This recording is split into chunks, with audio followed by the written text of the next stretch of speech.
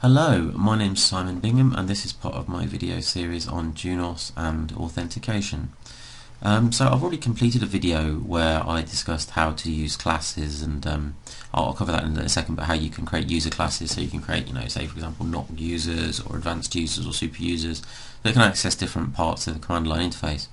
But in, in, when we were doing that, we were really we were really always authenticating the user locally. That means that the, the, the passwords and the credentials that um, the, the user will determine, you know, on, on, on the switch or on the router itself, as whether you can log in or not.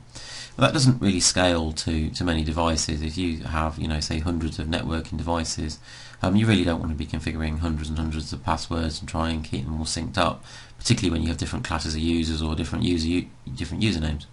So there is a solution for this, and it's called Radius. Um, the Radius itself is an, an, an, acronym which um, goes back to the days of dial-up services. I think it's remote authentication and dial-in user services. What it really means, though, is it's a system by which you can determine um, whether someone's authorized and what they can do or not do. Um, in fact, most Radius um, services dovetail into things like Active Directory and, and and that as well. So, in effect, you can say, you know, has has Simon left the company? If he has, he's been removed from Active Directory, therefore he can't access the switches any anymore. So it's a basically a centralized way of um, of, of, of administering your, your users. So um, now the the the switch configuration of this is actually quite simple. Um, but in practice, getting this working, the difficult uh, the difficulties are always on the back end. So probably one of the most common radius servers being in use, I think, in enterprise networks is actually probably Microsoft uh, 2008. Um, I think they've got a network services. I've never configured it myself. Um, but I, I, don't want to get into configuring all that because that's not what we're interested in. This is really a, a, a, Juniper video. So what I've done is I've I've created a radius server called some using something called it's actually an old a Juniper product called a steel belted radius or Funk steel belted radius, and it's a fairly basic radius server. You can well I say fairly basic. It's you know it's a it's good radius server. I believe it's used in um, service provider environments. So if you Google um, some something like Funk steel belted radius, um, it will come up for you. So and so if we do, uh, yeah, so you can download this this session Juniper, and can get a 30 day 30 day trial version of it. Now also, if you Google Junos and um, I think it's something like I don't know um, Junos radius certification and maybe Funk radius Silberto radius, um, you might possibly find this document. This is um, written by this gentleman here, Stephen Gill. It's it's it's exactly what you need. Just just getting the basics working um, without going too much into you know all the possible options and every variation. So how does it work? Well, you try to authenticate to this device and it then forwards your credentials via an authentication protocol to a Radius server and the Radius server then feeds some values back saying either they're called um, return list attributes. So um, the Radius server will check check your username and password. It also check can check things called check list attributes um, so, for example, you could be, I don't know, this person is only allowed to log into this IP, address or something like that. You can check. I'll, I'll show it all anyway in, in actually happening. And then there's what's called return list attributes, where you can return values from the Radius server to the to the device that yourself that you're trying to authenticate to. So that could be and actually what you can do in this case is you can say, for example, it could be allow commands or deny commands on on, on, on a Juniper. So you can hold that centrally on a Radius server and you can say, okay, this, these are this guy's allow commands or or, or, or deny, deny commands. So what I'm going to do is I'm really just go on and, and just demo this and, and talk talk through it as a demo it. So um, let's bring up the config we're going to be using today. So this is the config that I'm going to be using. Um, we will go ahead and configure this on my EX series switch and see if we can log in.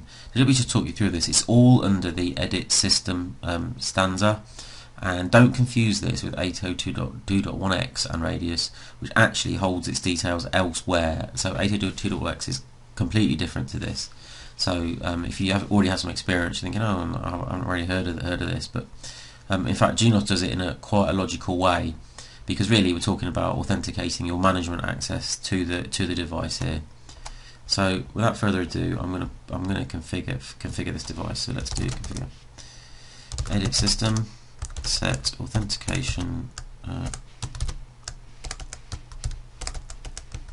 authentication order. Let's do radius and then password. Let's do set radius server 172.27.152 oops. Dot 233.152 now it might be quite important oh, damn it I made a mistake there that worked now now it's quite important to set your um, source address um, because um, that's how you configure you configure the devices, the authenticators here on on on the Radius server, which I'll show in a minute. So it needs to know your source address stays the same. So in my case, it doesn't matter because I'm on a layer two connection to our Radius server. Um, but but in, in, most cases, you know, if you're going across the routed network, you need to define the source address. So then we need to define the the users, or well, this is in fact the name that it's going to give back. So let me just show you. So let's do um, set login user. I'm going to call him, I've got something set up already called uh, full dash admin. I'm going to put in the class super user. Super user, remember, is a predefined class on Junipers that gives you access to everything. So let's commit commit this, and then let me just show you quickly the the radius server because it is actually interesting to see what's happening here. So this is the administrator for steel belted radius. Now what you have to do, you have to configure the devices that you're going to be, you know, that are going to be sending this auth authentication information. So in the case here, I've defined my Juniper, um, my Juniper switch already. Okay. Now, if you have a look in here, you have to define the IP address it's coming. That's the IP address it's going to be coming from. This is what I was talking about. The source source address is quite important, and you configure a shared secret, which I use the word secret if you recall. So that's that. So I've also configured some users, right? Now I've got a user here, that I don't worry about that one, but I've got a user here called test, right? So this user is going to have to log in and I've already pre-configured the pass name to be, the password to be test as well. But what is important here is this isn't the username that's used to log into the device itself. This is the username that's checked on the day database. In this return list here, under Juniper local name, is actually the username that it's going to send back to the box saying this guy is full admin right? And if you remember, on, on the box, what I configured was that full admin is a super user. So I hope that's not too much in one go. Now you can also, if you want, you can add in here things like the, I think you can do yeah, Juniper allow commands and Juniper um, deny commands and various bits and bobs. You can um, you can do tunnel ID, you can set VLANs, um, you can also set the uh, firewall filters. So there's a lot of things you can do. As soon as you sort of open this Pandora's box, if you like, you suddenly realise it's worth probably worth some of the pain because you can do quite a lot with it. Um, what I'm also going to do while this is happening, I'm going to fire up Wireshark, just crash them by the looks of it. But I'll just fire Wireshark up, up again, and we'll we'll we'll just get this to capture everything while this is going on. Now, personally, I find all the pain here is in setting up this, is in setting up the the you know the radius server itself because there's various different authentication pro protocols you could be using and you know that's that's the bit that's complex here not really the Juniper aspect so let's just do capture interfaces um, for now just be lazy and capture all of them right now let's just do radius right So what I'm going to do now is I'm going to log into my switch and we should see it trying to send these details to Radius server. So let's see if this works. Uh, so what I need to, I need to manually um, type in the IP address because otherwise it'll try and, in the case of what I'm doing here, it'll try and log in as root user. So let's just put this up here. Right. And let's try and log into, um, I can remember the IP address of my um, switch. So I'm going to log into 172.27.233.214 see if we can go to that. Oh it's prompting me, right that's a good sign, right test. And test. And we're in. Fantastic news, right and oh now we can see. So we can see here, I just find Wireshark's the best place to see this. Um, you can see that the there was an access request and there was an access accept. And if we even dig down into in, into into this, we can see that um, should have done that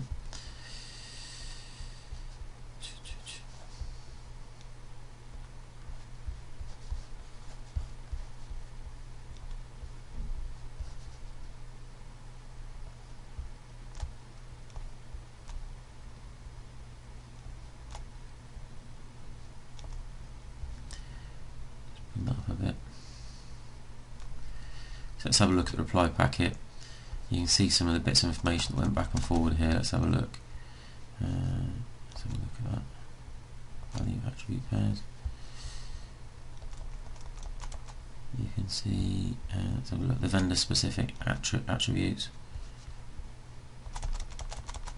And look, there it is, full admin. That's what I was really looking for. Look, you can see it sending the full admin the Juniper VSA, so vendor specific attribute. So this is actually the vendor vendor specific attributes is really powerful actually because you'll find that then you can send all sorts of information back to the switch based on a, cent a central day database. Like I said, it could be a firewall filter saying you know I don't know only allow this person to you know go somewhere or do something. So that's that's that's pretty powerful. I'm not you know it's not really within my scope here to do all that stuff because really it's fairly simple. Um, you know the switch side is fairly simple. You, you, you know the um, the co more complex bit is trying to um, uh, really trying to configure, configure the radius server, and, and, the best best place for that is that link link that I showed just there. So okay, that's it really. Um, that's working, and you can see we've got a centralized database now determining who can who can who can do what. Just to prove I'm not making this up, let's uh, quickly just go clone a new window. Actually, I'm going to do a new session. 172.27.233.214 blah blah blah blah blah blah. We can see it all been denied here and you can see the access reject coming from the radius server back to the switch. Okay thank you and that's it from me